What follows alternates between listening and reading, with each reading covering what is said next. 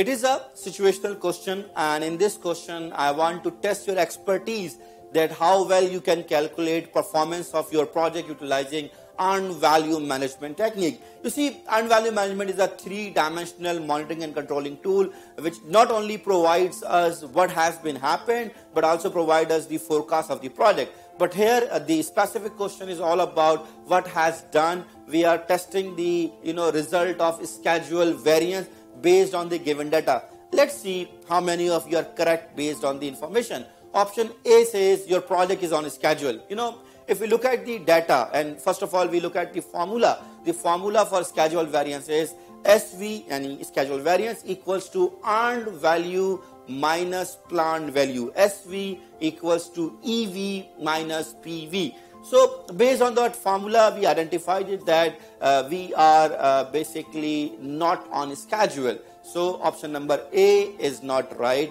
Option number B says your project will complete on time.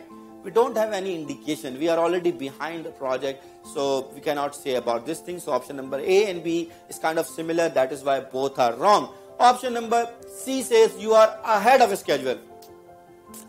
No, we are not ahead of schedule. Do you think we are ahead of schedule? Of course not. Option number D says your project is behind schedule. Yes, we are behind schedule. Follow PMP question so that you can pass your PMP on time. Thank you. Those who have answered it correctly through understanding, congratulations. For others, I hope it helped.